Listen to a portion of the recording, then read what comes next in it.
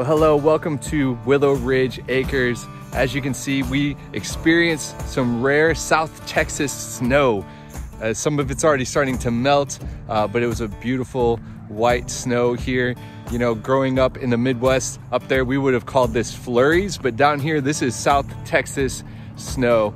Uh, but last night, Mabel, one of our Great Pyrenees, gave birth to a litter of puppies. She gave birth to seven puppies and we want to we want to share that experience with you. But before we do, I want to give you just a fair warning. Uh, the videos are just a little bit graphic. If you've got a weak stomach, uh, you may not want to watch it. Uh, just, you know, it shows some of the afterbirth and all of that. But um, this is kind of what farm living is like with livestock guardian dogs and them giving birth. So check this out. All right, we're about 24 hours in when uh, her temperature had first dropped about 24 hours ago. She's actively pushing now.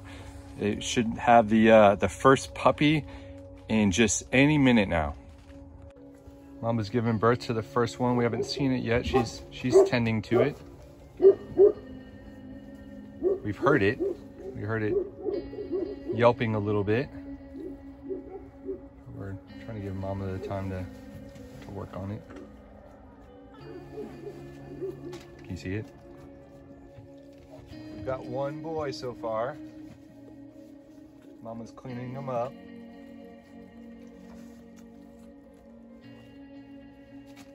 It's kind of hard to see, but there he is.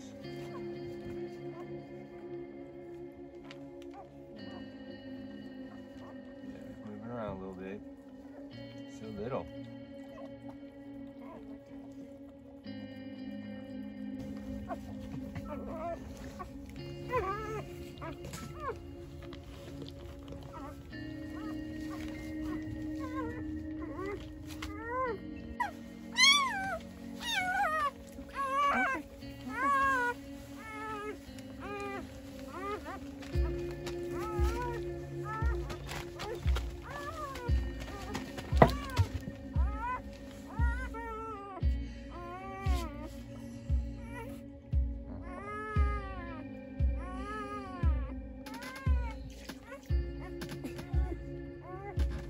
Something.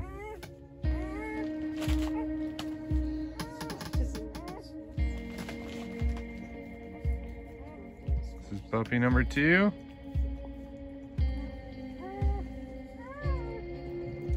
You're in the splash zone. you better scoot back. Oh, there's puppy number two. There it is.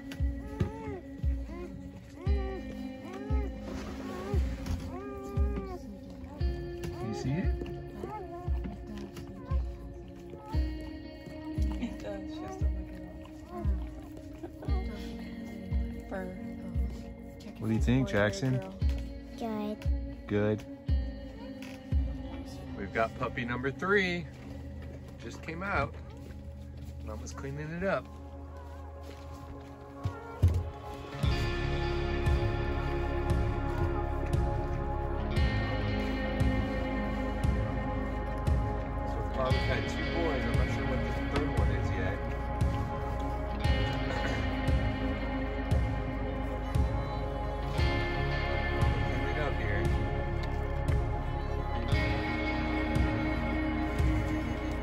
That one's a girl. Puppy number four.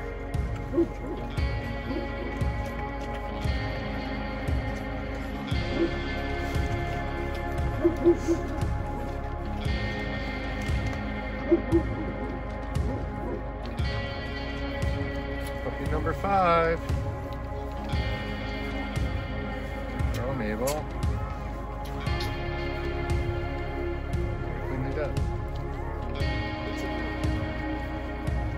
Girl.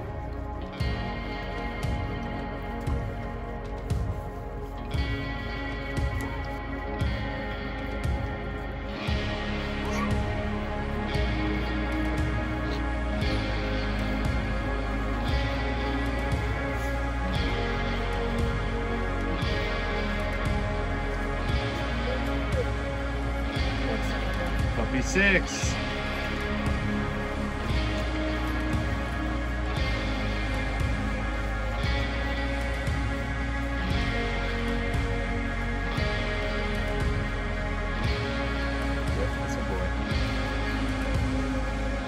Think?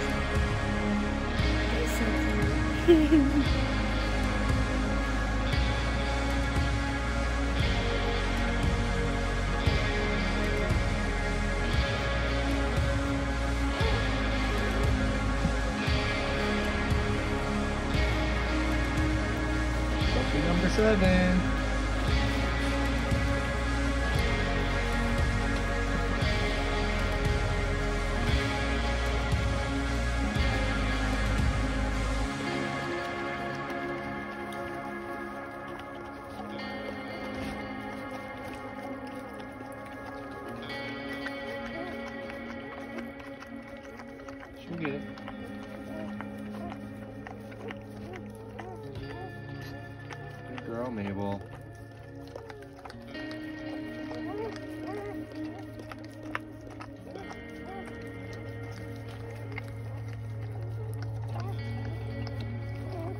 Girl.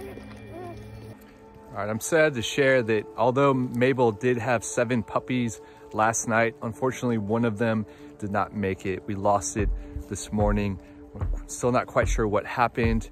Uh, we think maybe it got too cold uh, there in the shelter that we had built. Even with the heat lamps, uh, we found it just a little bit further away from Mabel than the other puppies and it was unresponsive. Despite our best efforts to revive it, uh, we weren't able to. So um, we actually had uh, just a little um, funeral for it on the property. We buried it in our little pet cemetery and it was a great opportunity just to you know, teach our kids that uh, life is short, it's fragile, and that we need to, to be grateful for every single blessing that we have, the blessing of life.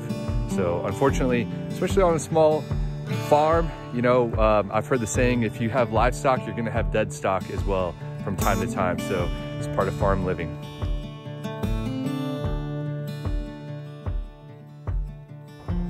Since we lost one of the puppies, we've decided to change plans.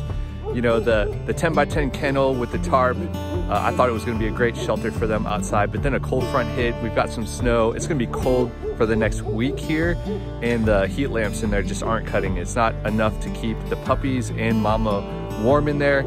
I feel like if I had my pole barn built already, we would be able to keep them warm enough in the pole barn, but I just don't have that just yet. So we've decided to bring the whelping box, bring the puppies and mama inside and we set it up in our school room. We uh, took everything out of there we set it up in there so we can keep a better eye on the puppies uh, and uh, keep an eye on the runt of the litter and make sure that all of them will survive, that we're not gonna lose another puppy to the cold.